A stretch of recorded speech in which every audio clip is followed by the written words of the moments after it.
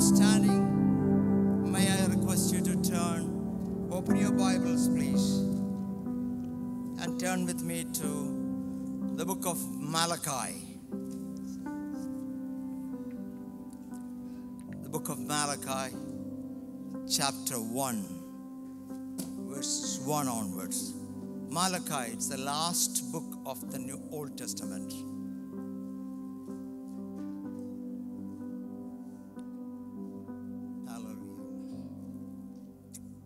Burden of the word of the Lord to Israel by Malachi. I have loved you, says the Lord. Yet you say, In what way have you loved us? Was not Esau Jacob's brother? Says the Lord. Yet Jacob I have loved, Esau I have hated, and laid waste his mountains and his heritage for the jackals of the wilderness. Even though Edom has said, We have been impoverished, but we will return and build the desolate places. Thus saith the Lord of hosts. They may build, but I will throw down. They shall be called the territory of wickedness, and the people against whom the Lord will have indignation forever. Your eyes will see, and you shall say, The Lord is magnified beyond the border of Israel. Verse 6 A son honors his father, and a servant his master. If then I am the father, where is my honor? And if I am a master, where is my reverence? Says the Lord of hosts. To you priests who despise my name, yet you say, In what way you have, have we despised your name? You offer defiled food on my altar. But say, In what way have we defiled you? By saying, The table of the Lord is contemptible. And when you offer the blind as a sacrifice, is it not evil? And when you offer the lame and the sick, is it not evil? Offer it then to your governor. Would he be pleased with you? Would he accept you favorably? Says the Lord of hosts. But now entreat God's favor that he may be gracious to you. While he is while this is being done by your hands, will he accept you favorably? Says the Lord of hosts. Who is then among you who would shut the doors so that you would not kindle fire on my altar in vain? I have no pleasure in you, says the Lord of hosts, nor will I accept an offering from your hands.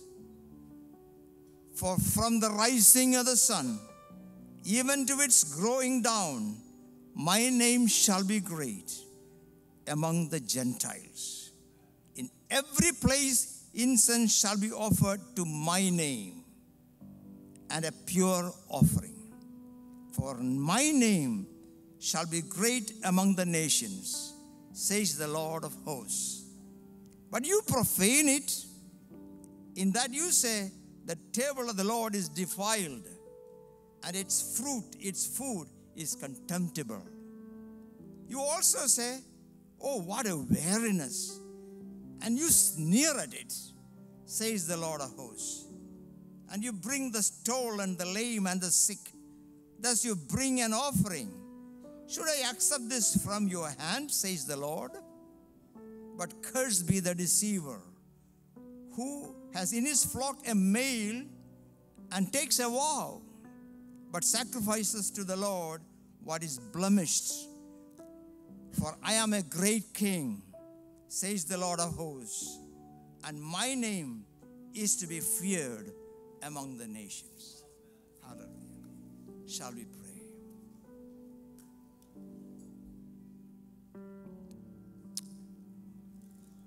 Hallelujah. Heavenly Father, we thank you, Lord, for the privilege of coming to your throne of grace to worship you, Lord. We thank you for your love, Lord. Not because we deserve to be loved, but in your kindness, in your mercy, you looked at us favorably and picked us up from the dungeon we were in, Lord. We commit your people in your hands, Lord. Speak to us, Lord. Use this wretched, sinful servant, Lord, yours. But washed by your blood, cleansed by your word. This morning I commit myself to speak your word, Lord. Anoint me with your power, Lord, with your strength, with your spirit, Lord. Hallelujah. We pray that your name alone will be glorified. Thank you for what you're going to be doing. In the name of Jesus, we pray. Amen.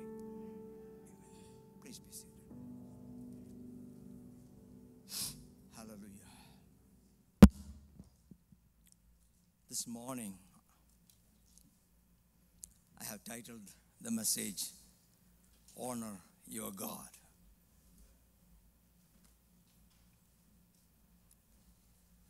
I have been burdened with the message for some time now. And I was hoping that God will give this message to our dear pastor because I believe that he is more qualified to speak this word.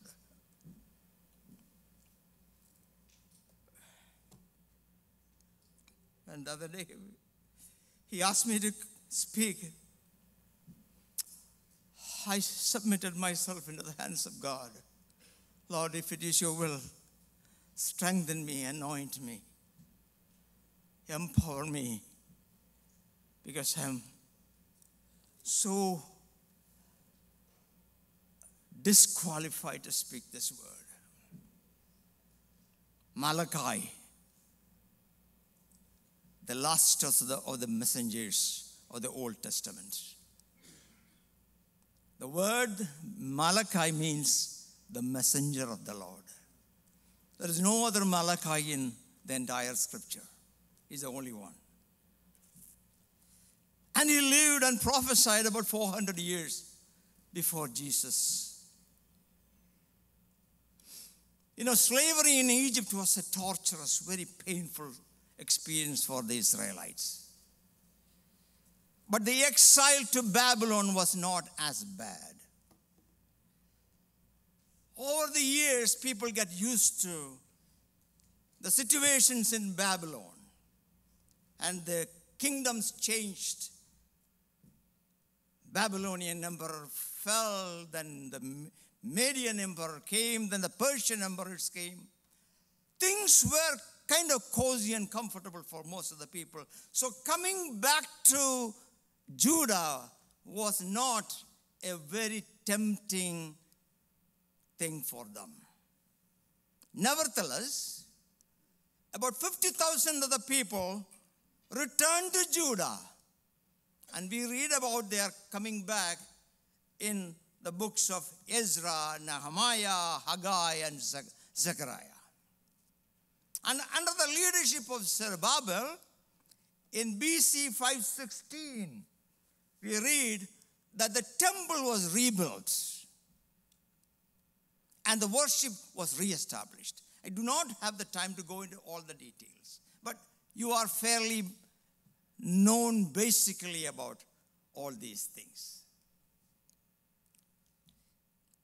But after the temple was built, not even 100 years have passed before the people completely turned away from God. The priests and the people became equally corrupt. Truths were being distorted and propagated and taught. the mere ritualistic religion was being practiced. The laws of the Lord were practiced, were, were, uh, were, uh, were, were rejected. Sins that were never done until then were being committed by the people of God. They were marrying Gentiles and they were practicing social injustice. Just to name, list a few of their sinful practices.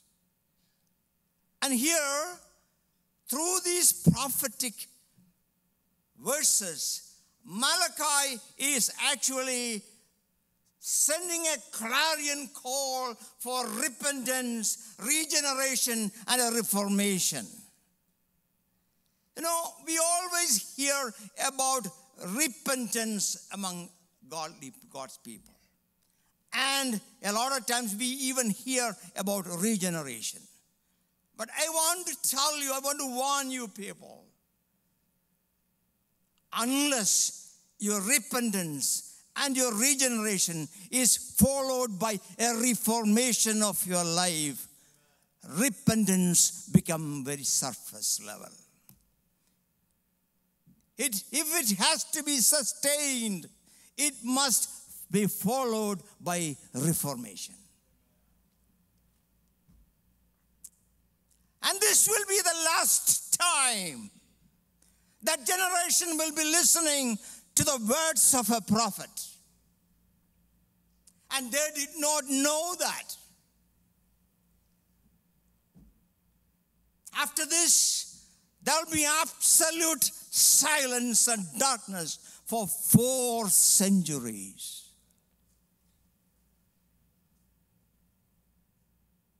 When they were listening to Malachi, they laughed at him. Let me ask you, my dear brothers and sisters, if this is the last time, rather, if you know that this is the last time you're going to be listening to the Word of God, how would you respond to it? How would you respond to it? If you know in your heart that you will not be able to hear the word of God one more time, how would you respond to it? Let me tell you, sadly, the people in Malachi's generation did not know that was the last time, so they ignored him and the message.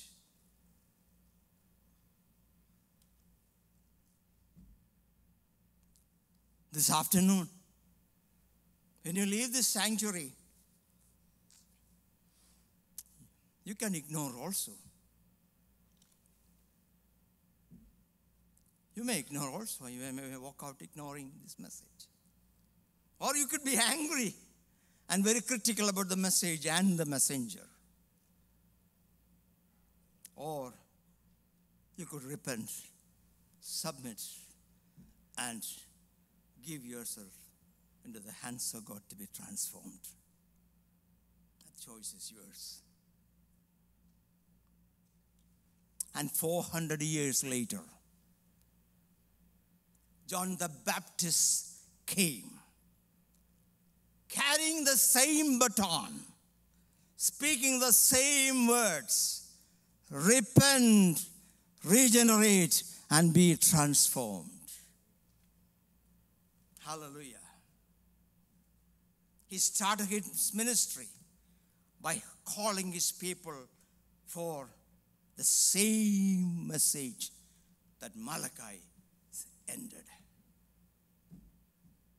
Malachi opens his prophetic message by a very portrayal of the love of God.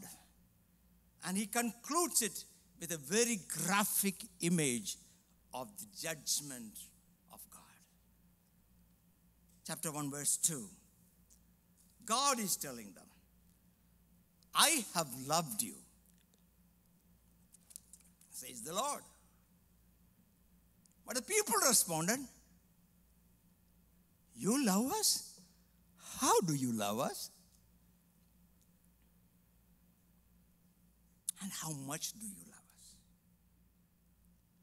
And God decided to answer them how much He loved them.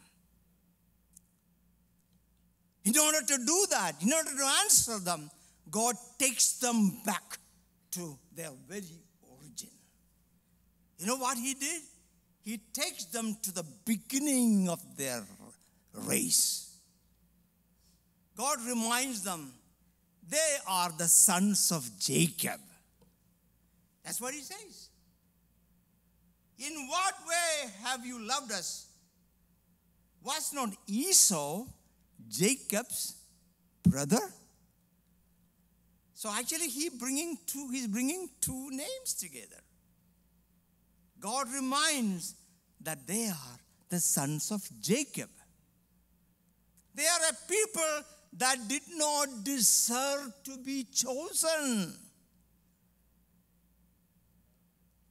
Esau, being the firstborn, was actually in the family lineage for all the blessings that comes through his father Isaac.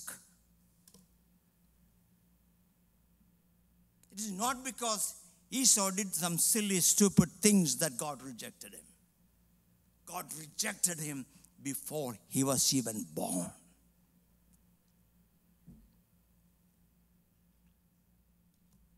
Well, before he could do anything bad or good. This was in order to show his mercy on the one he chooses to show mercy and his compassion on the one he chooses to show compassion. God is telling his people that he loves them. How much? To the extent of rejecting Esau and choosing Jacob and making them the children of Jacob and calling them his people and adopting them as his family.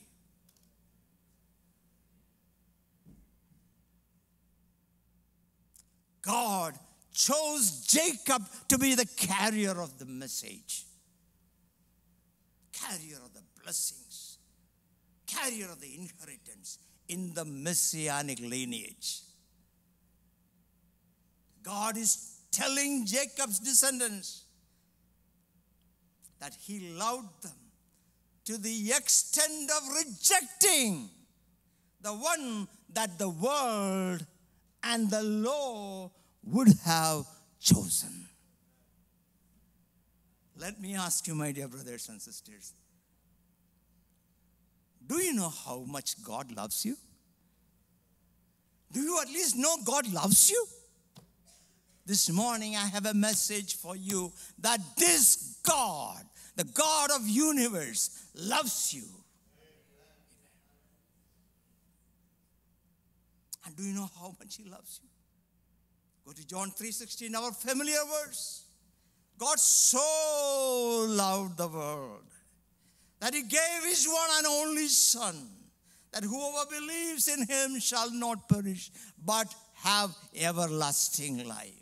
How much did God love you to the extent of sacrificing His one and only Son for you and me, the wretched sinners? And 1 John 3:16. This is how we know what love is. That Jesus Christ laid down his life for us. Romans 5 8 Apostle Paul is so explicit when he says, But God demonstrates his own love for us in this. While we were yet sinners, we were not even seeking God. We were yet sinners. Christ died for us. I, I wanted to dwell here. I wanted to dwell. I do want to dwell, but I don't have the time. That thing is on a race ahead of me. Brothers and sisters, let me remind you the very fact that you and I are here today is the love of God poured upon us. The love that was poured on the most undeserving people like me and you. Let me tell you, in a world filled with hatred and hurt and malice and anger, so comforting to know that we have a God who loves us. And God has also placed people strategically around us so we may experience His love through them. We have family that loves us, husbands that love us, wives that love us. We have parents that love us, and we have children that love us. We have a pastor that loves us. We have a church and a people of God that loves us. If that is the case, we must show this love that was poured upon us through the way we love others. And that's what God does. Uh, let me tell you, we all go into the dumpster once in a while, don't we? We all go into the dungeon, the dark valleys of life experiences that really we don't want to relive one more time. But when we are so down, it is so strengthening to know that there are people around us that love us and want to share their love with us. One of the signature features of this prophetic, prophetic book is that every time God makes a statement, the people ask him, How do you do that? Really? Like mocking God and mocking the man of God. I wish I had more time, but I want you to. This, this, this book contains only four chapters, Malachi. Please read it every day. There's only 55, 55 verses altogether in four chapters. Read it every day. It will speak to you. It will allow the Holy Spirit to transform you. It's a powerful book. It's a powerful. book. Let me ask you, brothers and sisters, have you ever thought why God loved you? Why did He love us? This morning, I want to remind you of the love of God that was poured upon us without any reason, any merit from us. It's an explicit demonstration of His sovereignty. Hallelujah. It's based on no merit at all. Not because we were born in a Pentecostal family, not because we were born in some traditional Christian family. No. He just chose us out of His mercy because He shows mercy upon whom He wants to show mercy. That is the sovereignty of God. And nobody can ask God, why did He choose me and not Him? There's no answer to that. Even in eternity, you will not hear an answer to that question. Exodus chapter 33, verse 19 goes like this I will have mercy on whom I will have mercy. I will have compassion on whom I will have compassion. He calls whom he wants to call, and he rejects whom he wants to reject, so that no flesh can boast in his presence. Again, Apostle Paul in First Corinthians chapter 1 26 through 29, he writes like this Brothers and sisters, listen to this carefully. Listen to this. If any of you think that you are well qualified to come here, listen to this. Brothers and sisters, think of what you were when you were called. Not many of you were wise by human standards. Not many were influential. Not many were of noble birth. But God chose the foolish things of the world to shame the wise. God chose the weak things of the world to shame the strong. God chose the lowly things of the world and the despised things, that the things that are not, to nullify the things that are, so that no one may boast before him. God alone will take glory in your calling and my calling, in your choice and my choice. We can never boast of anything before the blazing sovereignty of God.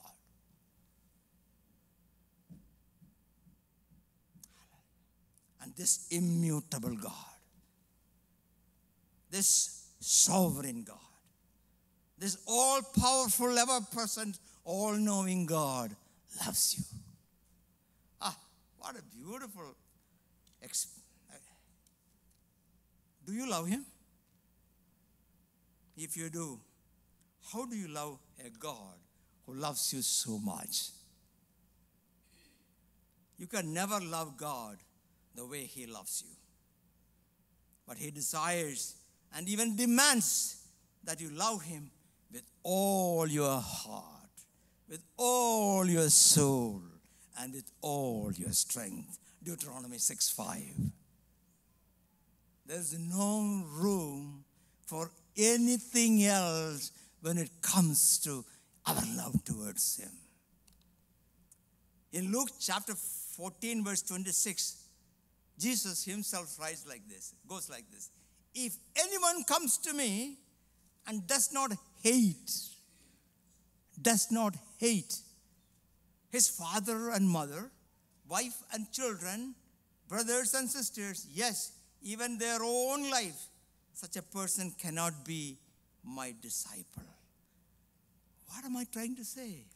On this Father's Day, am I saying that we should hate our fathers?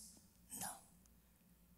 I want to wish all of you, fathers, grandfathers, a happy Father's Day. But along with that, I want to tell you when it comes to your love towards God, every other love becomes so lusterless that it appears to be hatred. There's no comparison. How should we love Him? The one who gave everything for us with our everything, with our all, with our heart, with our soul, with our strength, with our everything that we have. And when you live your life loving your God, it becomes a life honoring your God. You cannot just live a life saying that I love my God, I love my God, but do everything dishonoring Him. They don't go together. When you love your God, you will honor your God. You cannot claim to love God and dishonor Him in your life. In fact, Malachi here is urging his people to repent and return and live a life honoring God. And there are so many places. Actually, this book is all about honoring God, Malachi. Honoring God by honoring your parents. 1 6. Honoring God in your worship. 1 7. Honoring God by your material blessings and offering. 1 14, 2 8 through 10. Honoring God in your marriage and in your family life. 2 11 onwards. Honoring God in your conversations. 3 13 on. I wish I had three hours to stand here, and I don't.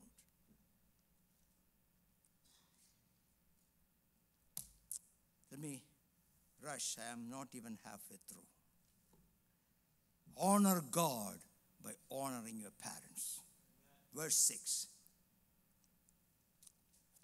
A son honors his father, and a servant his master. If I am the father, where is the honor due to me? If I am your master, where is the reverence due to me. In the Old Testament, God identified himself as the father of the nation of Israel. He was never identifying himself as the father of a person like he is for us. For the nation of Israel, he was the father. And in Exodus 4, we also learn when the people received the commandments and the laws through Moses, they made a covenant with God that he will be their God and their master. Thus, Israel as a nation has entered into a covenant relationship with God as God, their Father, their Master, and their God. Verse 6 A son honors his father, a servant his master. It's, a declare, it's, it's, it's, it's an axiom. It's an axiom. A son honors his father. There's no explanation for that. There's no need for explanation for that.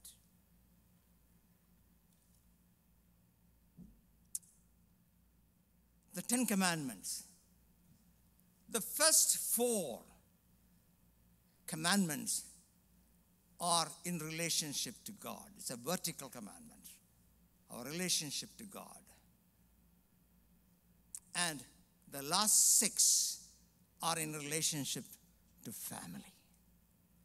And this co- commandment, honor your father and mother, comes almost in the middle as the fifth commandment, connecting. It's almost like a link connecting the vertical with the horizontal. You know what that means? You just cannot have a relationship with God. You just cannot have a meaningful or live relationship with God and a meaningful relationship with fellow humans unless you honor your father and mother. If this doesn't happen, the other one is not happening. You can do whatever you want to do on the stage and in public, but there is no life in it. You honor your parents. It will be a demonstration of the fact that you have a relationship with God and relationship with people. Today is Father's Day. Let me ask you, my dear young friends and older friends too, young brothers and older brothers too, and sisters, what is your relationship with your earthly father? How do you relate to him? Some of us, like me, my earthly father is with the Lord. How is your earthly father? And how is your relationship with your earthly father?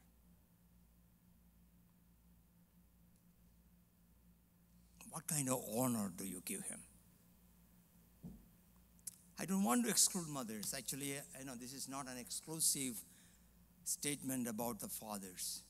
I want to use the generic term, parents. When was the last time you really honored your father or your mother? And how did you honor them? Have you ever thought of one time when you are alone about your father or mother? In your solitude, when you, when you, when you are alone, have you thought of your father or mother? Do you know how excited your father was when he heard your very first cry in the obstetrician's arms?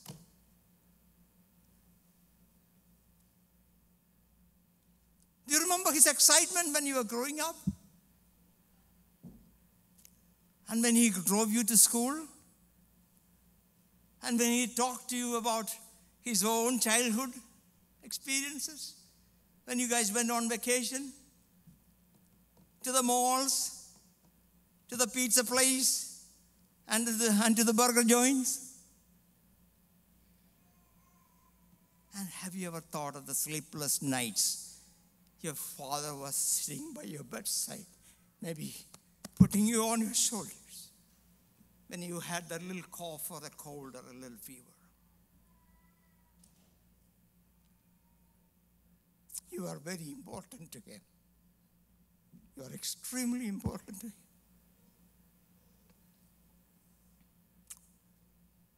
Do you know how much he panicked when you first decided to sit behind the wheels of that car?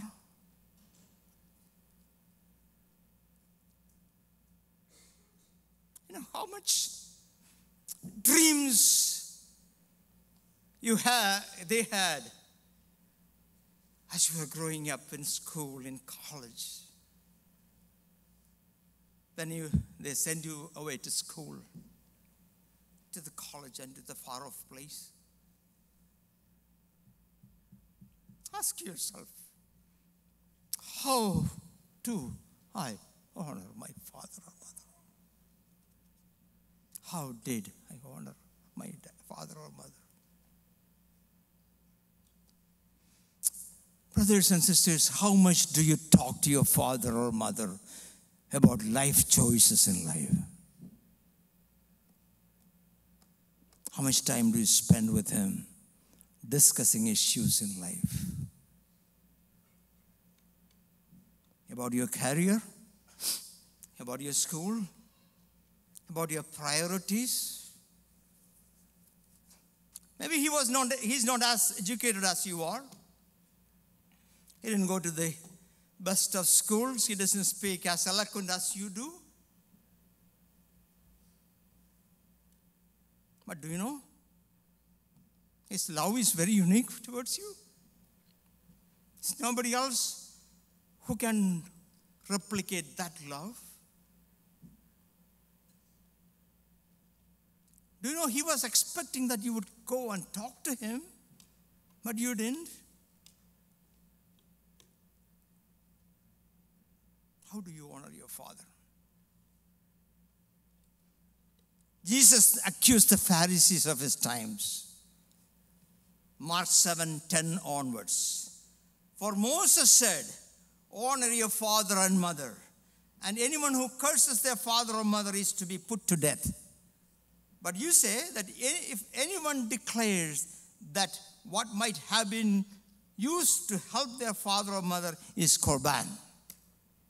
I am not talking about calling them on their birthday or a Father's Day, happy Father's Day, happy Mother's Day, happy birthday, happy anniversary. Yes, I'm not talking about that. We have diminished our obligations to just by saying wishes.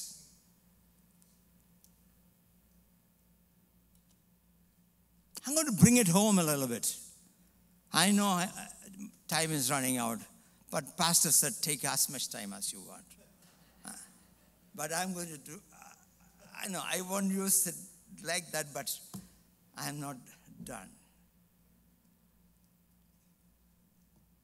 Did you honor your father and your parents in choosing your life partner? Or did you grieve his, his heart in the choice of your spouse?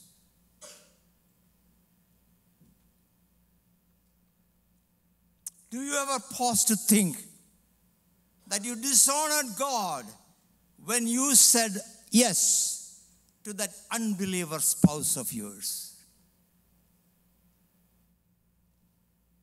Do you know that you rejected your God when you accepted a spouse who worships the other God? Whose altar did you sacrifice your faith on the day of your wedding? And whose altar, my dear brothers, did you sacrifice your faith at the time of your wedding reception? Young brothers and sisters,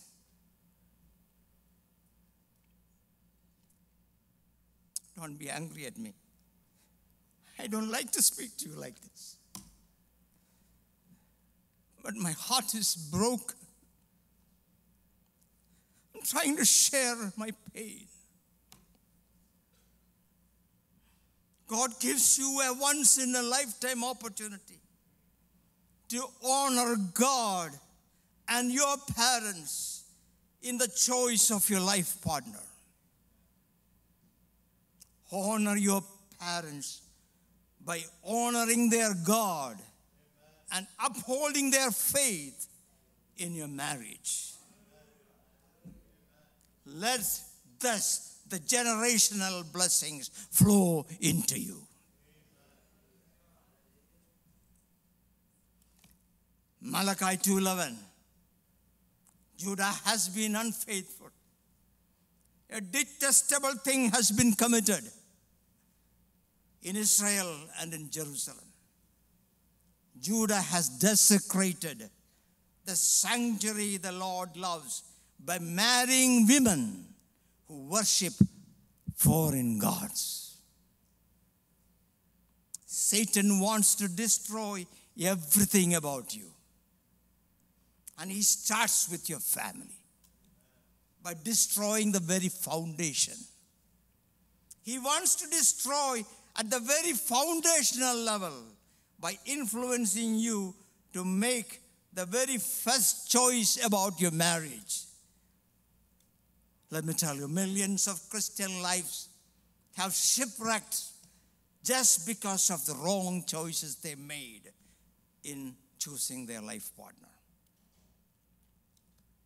The story of the Israelites is riddled with occasions when they chose, chose ungodly people in marriage and thus rejecting God. And the primary example is the life of King Solomon. His wife lured him away to the worship of false gods. Brothers and sisters, we are no stronger than Solomon. Don't be arrogant in your thoughts and in your attitude, saying that you will influence your spouse back to faith. You know, the commandment, the commandment is do not unequally be yoked with an unbeliever. Fathers and mothers, when was the last time you gave a hug or a kiss to your child? Your son or your daughter? When was the last time you went to them and said, I love you? When did you demonstrate to them that you truly love them and care for them? Lavish love on them. Not because what they not because of what they do, but because of who they are, and more than anything else, because of who you are. Deuteronomy 11, um, 21, 18 through 21. A rebellious son must be stoned to death. He must not be allowed to live. You know why? He's going to be a bad influence on the society.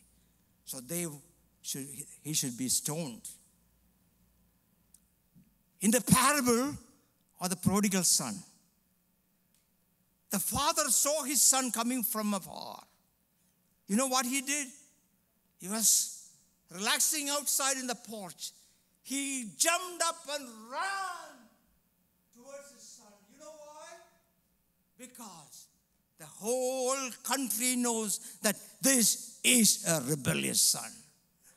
And if anybody in the neighborhood saw him coming, he will be stoned before this father gets his hands on him. So he runs to him and embraces him. And if anybody decides to stone, the stone shall fall on the father. And that is divine love.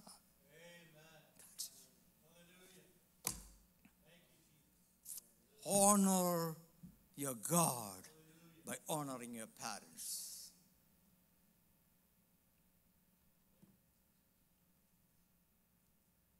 I'm going to just quickly mention the next. I have so much to say, but I know.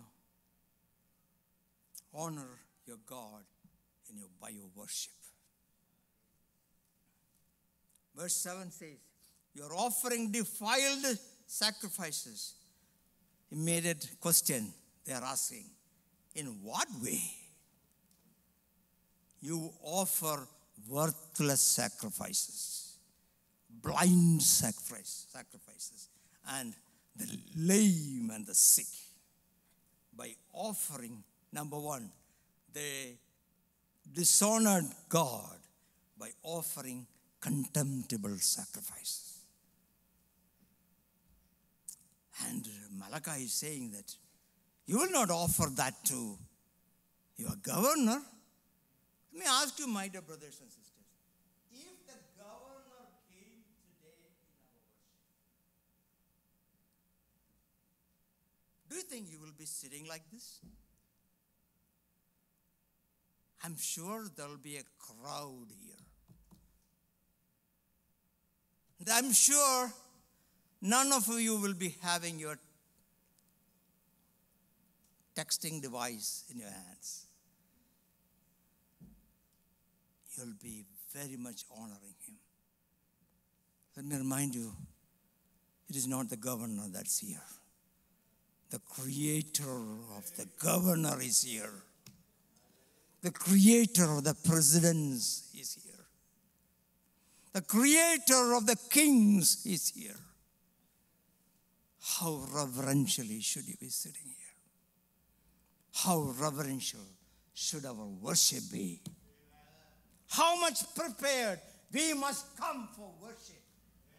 You will not come and sing a, a song. You will not flip through the pages. Boom, boom, boom, boom, boom. Let me sing a song. You don't do that. The king is here, and you're going to offer a sacrifice that is due unto him. You will spend time in prayer before you do anything here. You'll spend time in preparation. You will want to listen to him before you do anything here. You want to, you want to know his heart before you start saying a single word from this pulpit.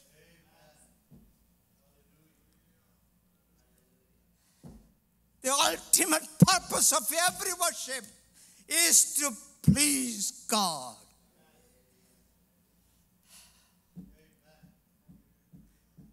Pastor, I don't have time and I'm going to stop here. Let me tell you the purpose of every religion is to see God.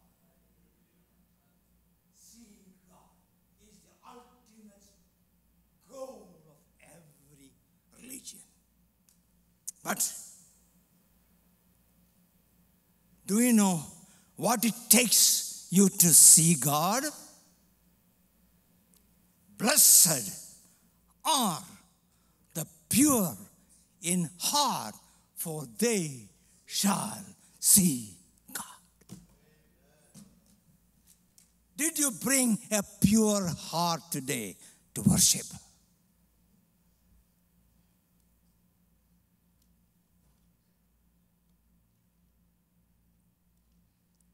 Yes, you are doing a lot of things, but you are serving a God who is looking at your heart. Cain and Abel, both of them went to worship. They both, I believe, they both brought pretty decent offerings. I don't believe in the fact that Cain brought some some crooked and all those kind of things. I don't think so. I think he brought the best of what he could do also. And that was not the reason why he was rejected. The reason he was rejected was God looked at his heart. It says that God blessed Abel and his offering. God rejected Cain and his. You want to be accepted? Do you want to be accepted? Bring a clean heart before God. A heart that is reconciled with God. A heart that is sprinkled by the blood of the Lamb. A heart that is purified by the, by the word of God. A heart that is reconciled with brothers and sisters. Hallelujah. Bring to Jesus a life that has been spent on knees with, for, in prayer. I'm going to stop here. In, in, in, in, in Revelations, chapter 3, there's a portion, I'm going to read it and just conclude. Revelations chapter 3. If Malachi was the last message to that generation for 400 years, I want to share with you a last message from the last book of the Bible that came to an earthly church. And there was no more message after this to an earthly church. And that is written in chapter 3, verses 15 onwards. To the angel of the church of the Laodicea, I know your work. And you are neither cold nor hot. I could wish you were cold or hot. So then, because you are lukewarm and neither cold nor hot, I vomit you out of my mouth. Because you say, I am rich, have become wealthy, and have need of nothing, and do not know what you that you are wretched, miserable, poor, blind, and naked. I counsel you to buy from me gold refined in, this, in, in the fire. Hallelujah. Hallelujah.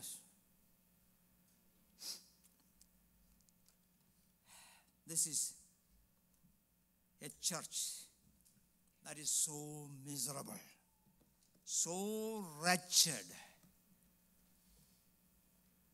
But they are so wretched, but they think they are doing very well.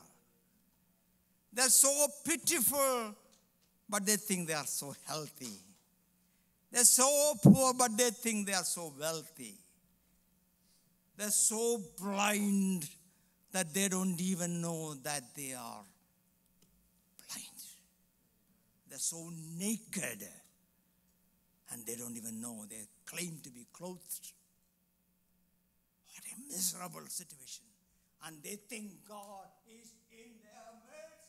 But God is outside knocking. Can a church be more pathetic than this?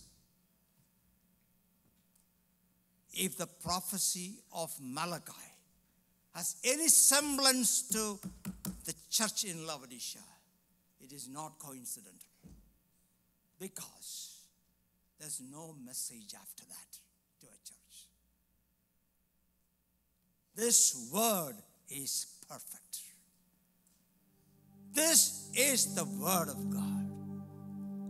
Repent, return, reform, and turn to God because unless we start honoring our God when the trumpet call be here. We'll all be still here. Because God is coming for a people that honor Him. God is coming for a people pure and sanctified who is looking for Him. And you and I are waiting for Him. And it's going to happen. That will be the next biggest event in history. I pray that our days ahead will be sanctified by the blood of the Lamb, by the Word of God, and by the Spirit of God. Let us humbly submit ourselves into the hands of God that we may start honoring Him in our life, in our personal life, in our family life, in any kind of situation that we are in. Let us start honoring God. May the Lord bless us.